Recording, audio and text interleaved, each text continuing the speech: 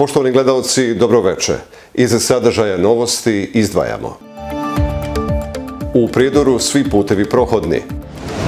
Nastava počela u svim školama, osim u Ljubiji i u nekoliko područnih.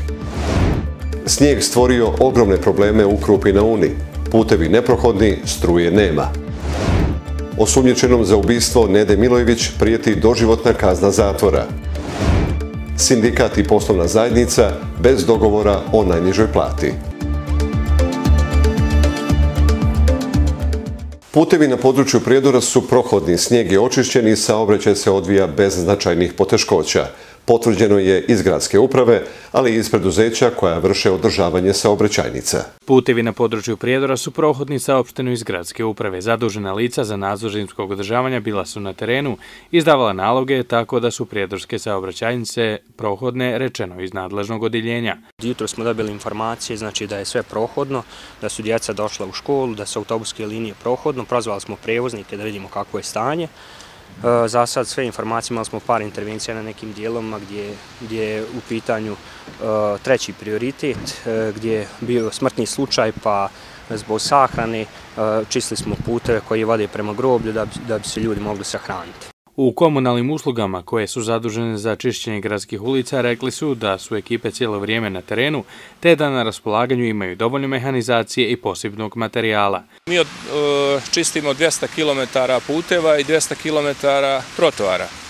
Izašli smo sa svom raspoloživom mehanizacijom, dakle četiri mašine sa grnom i e, posipačem za so i tri manje kombinovane mašine isto sa malim grnom i posipačem za čišćenje trotoara Eh, mostova, užih eh, dijelova ulica u gradu i slično, kao i gradskih trgova. Pored toga, radnici komunalnih usluga po nalogu gradske uprave i štaba za vanredne situacije rade i na čišćenju slivnika kako bi se umanjio rizik od plavljenja uslijed otapanja snijega.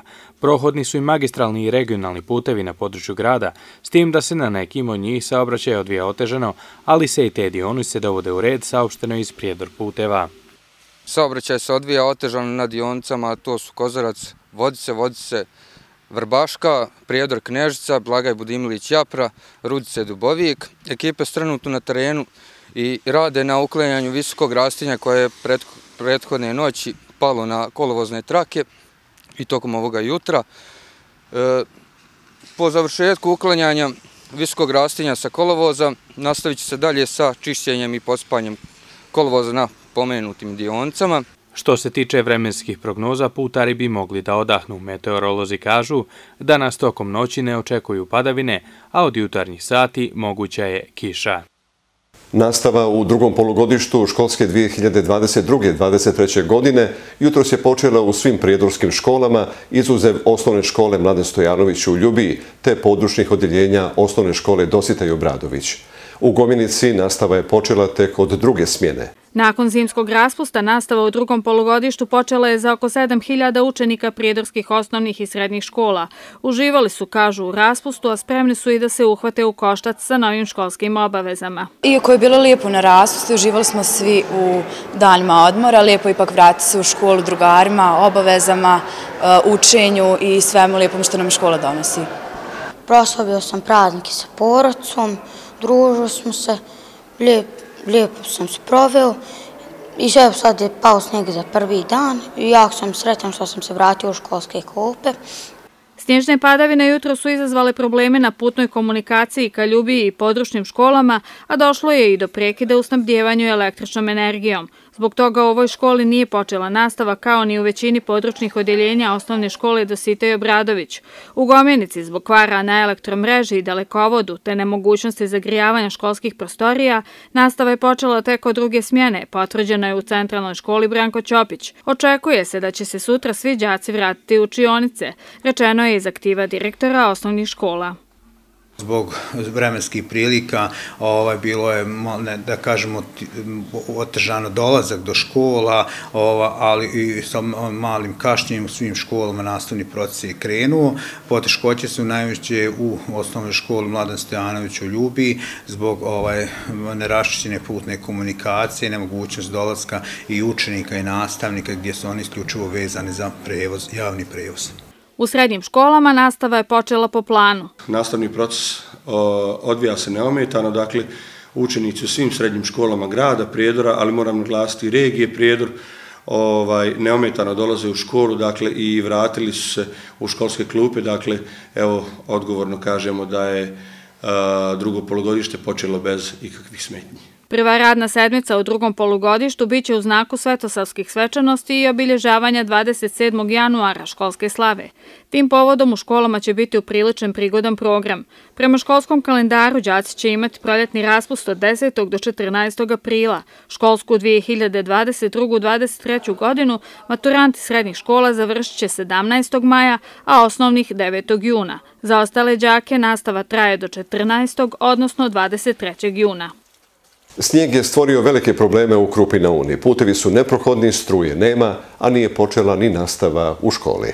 Mještani Krupe na Uni ogorčani. Zbog snježnih nanosa putevi su im neprohodni, a najveći problem im je to što od sinoć nemaju struje. Znalazimo se kako možemo neko agregata, neko nešto oko. Ne znam ta elektra šta misli s tim narodom. Jedna gore preko zbjega, sve su bandere popadale već godinu dana. Ja sam zvao dole elektru, prije Božića zvao sam bandera kod mene je pala kabel, ja sam ga otkačio, već je puko da ostanem. I došli smo uncom, pogledao nazad. Iz elektrodistribucije u Novom gradu potvrdili su nam da je došlo do prekida u sabdjevanju strujom na cijeloj teritoriji Krupe na Uni, ali da se kvarovi otklanjanju. Otklanjen je daleko, kvar na daleko vodu uh, Blatna, znači kompletno do Blatne, do Johovice i sad trenutno rade na dijelu Dubovika. Prema Dobrdinu, daleko od prema Dobrljinu je otklonjen do Donjeg vodičara. Radi se dalje znači, prema Dobrljinu. Daleko od prema Svodni je otklonjen do ovaj, Blagaja. Radi se dalje na otklonjenju Kvarova. Većina puteva u ovoj opštini je neprohodna. Nastava danas nije počela nije organizovana nastava, školski kombi je dovezao učenike iz Hašana i malog Dobovika i vratili se, nisu mogli doći nastavnici iz Novog grada. Na regionalnom putu Rudice Donji Dubovik prolazak mehanizacije onemogućavala su stabla koja su se obrušila od težine snijega. Radnici opštinske uprave i mještani organizovali su se i uklonili stabla. Nakon ispitivanja u okružnom javnom tužilaštu Prijedor, osumnječeni za ubistvo Nede Milojević, ŽZ, bit će predat sudi za prethodni postupak okružnog suda u Prijedoru uz prijedlog za određivanje pritvora, potvrdio je Mladen Mitrović, glavni tužilac okružnog javnog tužilaštva. Pronađeni su određeni predmeti na licu mjesta koji će poslužiti kao dokaz u krivičnom postupku. Izvršena je obdukcija tijela i nakon toga e, mogu da potvrdim da je riječ o nasilnoj smrti, da je osumničen i lišen slobode, da je danas ispitan pred tužijacem i da će biti predat okružnom sudu prijedor uz prijedlog za određivanje pritvora. Krivično djelo teško ubijstvo, konkretno koje je ovdje kvalifikovano, zapriječena kazna zatvora od najmanje 10 godina do doživotnog zatvora. Socijalni partneri danas na sjednici Ekonomsko-socijalnog savjeta Republike Srpske nisu postigli dogovor o iznosu najniže plate – Odluku o najnižoj plati donijeće vlada Republike Srpske, rekli su novinarima predsjednik Saveza sindikata Ranka Mišić i podpredsjednik Unije poslodavaca Dejan Mijić.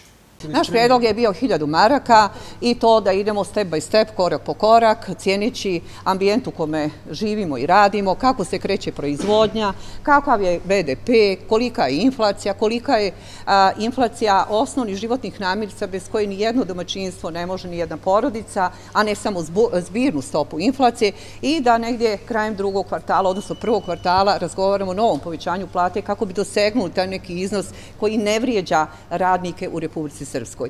Bili smo spremni da idemo na 800 maraka i da to bude neki iznos koji bi bio taj prvi korak da bi se bar donekle pokrili troškovi inflacije u Republici Srpskoj. Bilo je tu nekih razgovora i mogućih pomaka, međutim jednostavno ovaj, obje strane su ostale pri svojim prijedlozima, tako da će do konačne odluke doći nakon toga što vlada izanalizira još naše e, pokazatelje pokazatelje koje smo iznijeli na ovom i današnjoj sjednici te će donijeti konačno odluku. Snijeg je konačno pao, a besplatnim noćnim skijanjem proteklog vikenda otvorena je zimska sezona na Kozari. Vikend je bio u znaku brojnih turista, skijaša, ljubitelja prirode i zimske čarolije, pa je Mrakovica sa postojećim parkim kapacitetima bila mala da prihvati sve zainteresovane posjetioce. U regulisanje saobraćaja morala se uključiti i policija. Više hiljada posjetilaca proteklog vikenda boravilo je na Mrakovici. Bilo je skijanja, sankanja i drugih uživanja u prelijepom planinskom zimskom ambijentu, ali problem je bio nedostatak parking mjesta, pa su u nacionalnom parku u pomoć morali pozvati patrolu saobraćajne policije, kako bi smirili nervozne vozače. Mnogi posjetioci ostali su razočarani što nema dovoljno parking mjesta, a u nacionalnom parku najavljuju da će ovaj ovaj problem biti riješen. Juče smo imali takav problem gore, onda smo morali da angažujemo sabraćenu patrolu, pa smo na jedvite jade, da kažem, uspjeli to riješiti.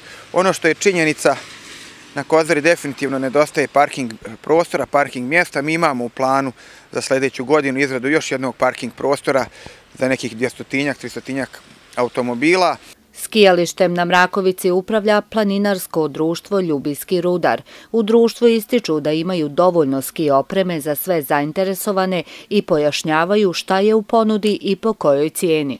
Mi relativno smo najjeftiniji u okruženju, ali smo ove godine napravili malu korekciju, tako da nam je dnevni ski pas 23 marke, noćno ovo skijanje 20 maraka, i dnevni ski pas za djecu 18 maraka. Skijalište Kozara spolaže sa skijalištem za djecu, sa jednim ski liftom i ski trakom i stazom za sankanje.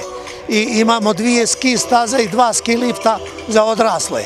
Kapacitet preko 2000 skijaša na sad za odrasle, a 1300 za djecu. U nacionalnom parku apeluju da vozači koji dolaze na Mrakovicu imaju strpljenja, poštuju saobraćajne propise i da ne vrše preticanja na putu do skijališta, jer to nije bezbjedno. Za turiste iz pravca Banja Luke i preporuka da je manja gužva putem iz pravca Podgradaca. I ovom prilikom bi napomenuo da je otvoren put i iz pravca Podgradaca i da su puno manje gužve iz pravca Podgradaca nego iz pravca Podgradaca Kozarca, odnosno Rajkovića. Tako da mi ćemo raditi na proširenju parkinga i nadam se da će naši posjetioci moći gore da se parkiraju. Ogromna je posjeta bila, jednostavno Kozara nije u mogućnosti da u jednom trenutku primi takav takav broj vozila. Priznajući da ima grešaka i do njih, u Nacionalnom parku Kozara napominju da će sve uraditi da Mrakovica iduću zimsku sezonu dočeka sa više parking mjesta.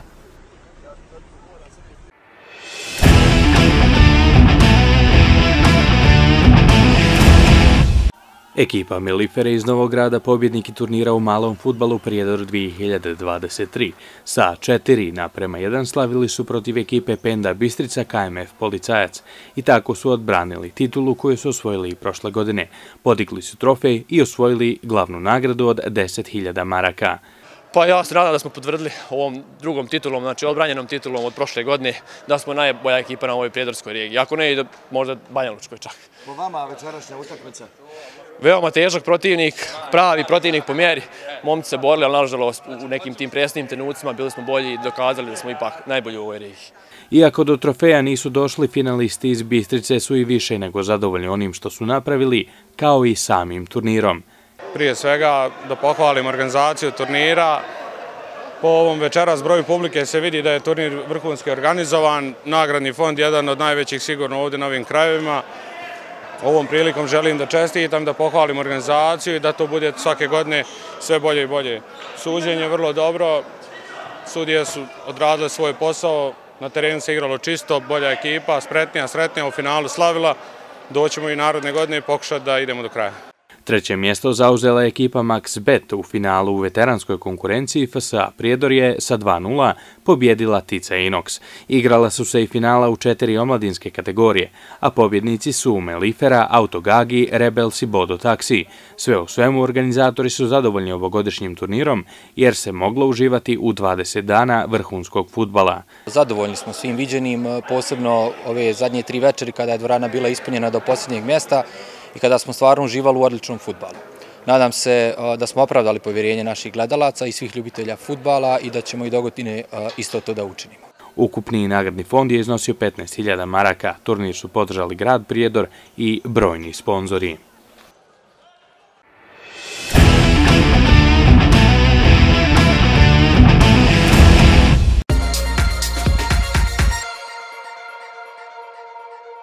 Sutra nas očekuje oblačno vrijeme uz porobene padavine. Ujutro će padati susnježica i slab snijeg koji će tokom dana preći u kišu.